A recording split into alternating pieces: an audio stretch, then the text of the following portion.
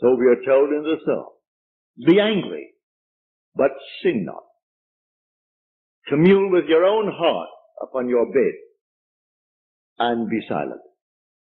Yes, blow your top, but do not let the sun go down upon your anger. Be silent as you commune with self. You don't commune with another, for the self of man is God. So be angry, but sin not.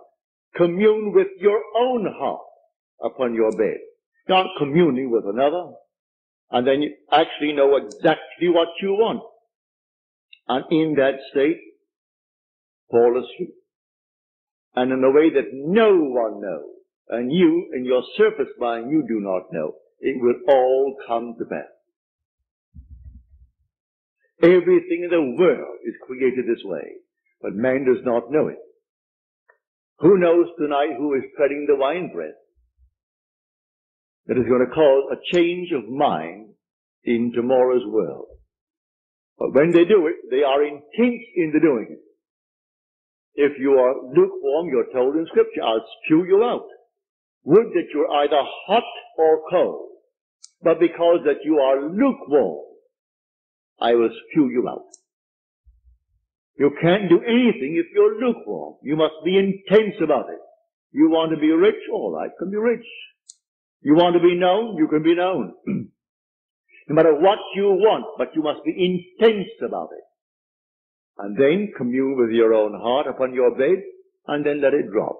You'll read that in the fourth psalm, the Psalm of David.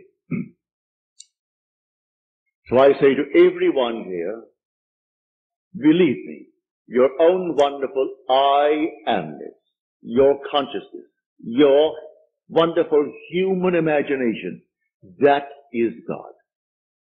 And all that you behold, though it appears without, it is within, in your imagination, of which this world of mortality is but a shadow. So you can change the shadow if you change the object, for you are the light. He said, I am the light of the world. Change the object that you're holding within yourself and identifying yourself with it. Change that object, you're light enough, and you'll cast a new shadow upon the world. So you say, I am, and you name it.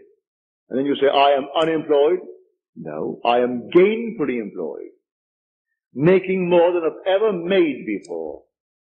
Don't ask yourself how, why, and through whom. That is not your conscious reasoning mind's concern. If you take the intellectual background, the educational background of those who are making top money in the theatrical world, I doubt that they could pass any college examination. I don't think they could pass any entrance examination to college. Yet they're making a million dollars, two million dollars a year.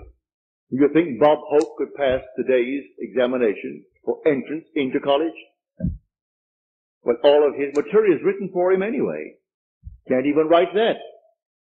But he has millions, all right, because that's how he dreamt, may I tell you? I know the background of the man. That was his goal in life.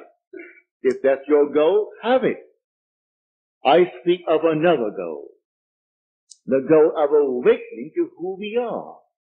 When man awakens from this dream, the whole vast world and all that it contains is as nothing to the being that you are.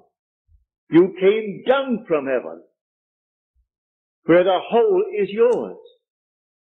As you're told in the 50th Psalm, if I were hungry, I wouldn't tell you, for the world is mine and all within it. The cattle on a thousand hills are mine. So why should I tell anyone of my need when it's all mine anyway? I would slay and eat